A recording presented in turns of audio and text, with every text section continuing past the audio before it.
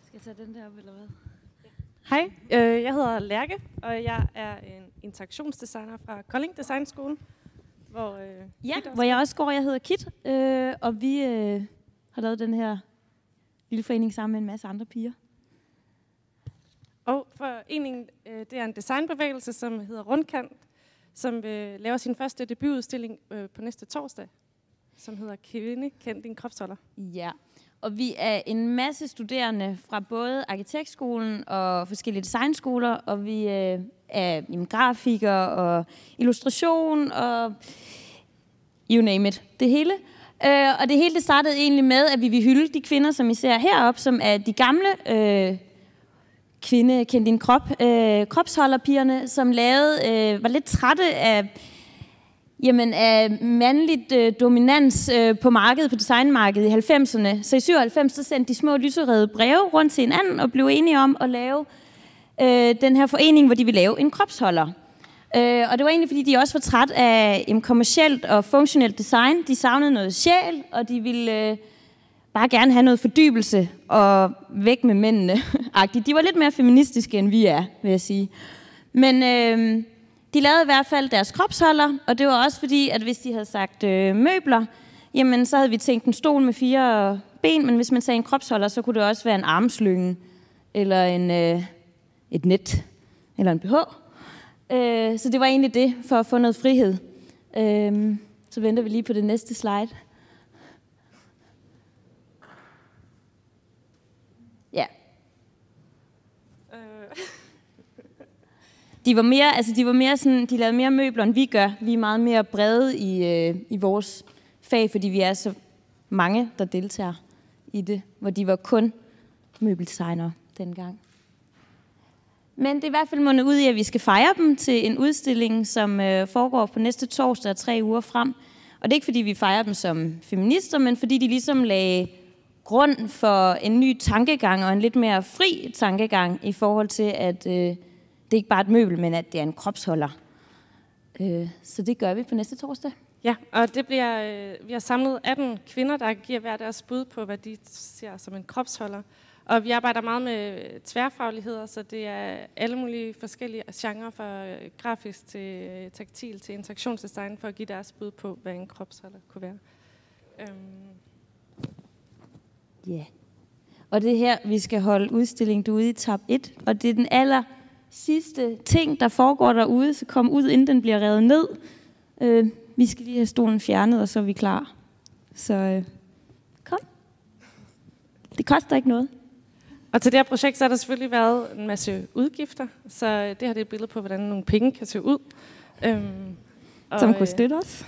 Ja, så dem skal vi også vise. Og vi mangler stadigvæk. Så hvis I gerne vil give lidt penge, så må I gerne kontakte os bagefter. Ja.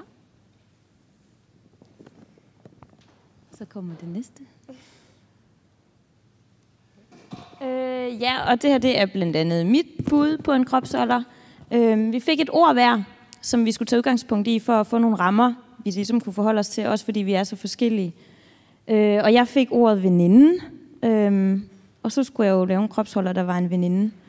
Øh, jeg er tekstiler, og jeg har aldrig lavet et møbel før.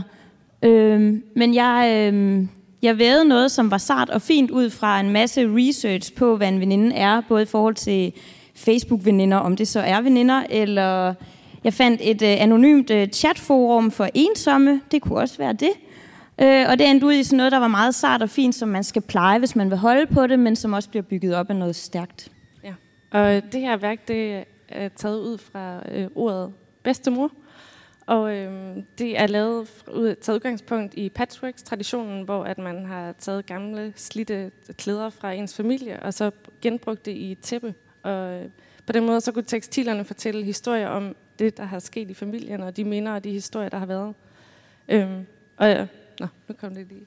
Men øh, det er i hvert fald oversat til en ny teknologi, hvor du kan med en QR-scanner øh, scanne sengetæppet og få adgang til øh, billeder og lyd.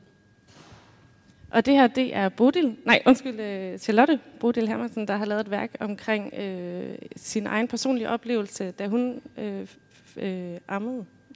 Øh, og det gjorde hun indtil hun var 4-5 år.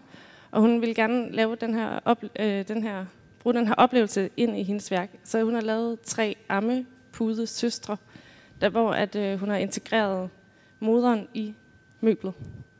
Og her har vi øh, Christina og Kjerstis øh, fortolkning på en kropsholder. Det er en øh, moderkage, man kan ligge inde i. Det er lidt den første kropsholder, man ligger i, når man er lille. De, de havde datteren, skal det lige siges. Så, øh, så det er jo der, man starter, inden man bliver spyttet ud. Og Line hun har taget udgangspunkt i at være storesøster, og hvordan man er flettet ind i hinanden, og øh, hinandens historier har den samme oplevelse af øh, mor og far, og hvilke følelser, der ligger bag at være flettet sammen. Øh, så hun har lavet et møble ud fra øh, søsteren. Og her har vi en hjemmeside, hvor I kan gå ind og kigge lidt mere, hvis I vil vide lidt mere, inden I selvfølgelig kommer ud og besøger os. Øh, den hedder cargocollective.com, øh, rundkant, øh, og der er de fleste af projekterne på. Så øh, gå ind og kig, der er lidt proces, så man kan se, hvordan vi er nået dertil, hvor vi er. Og øh, i løbet af de tre uger, hvor udstillingen var, øh, så vil der også være forskellige events, og der er blandt andet et øh, madarrangement. Og vi ved endnu ikke, om det er urtkurserne eller øh, kålkællingerne, der kommer og laver mad. Men i hvert fald velkommen til at komme og smage. Mm. Yes. Det var egentlig det.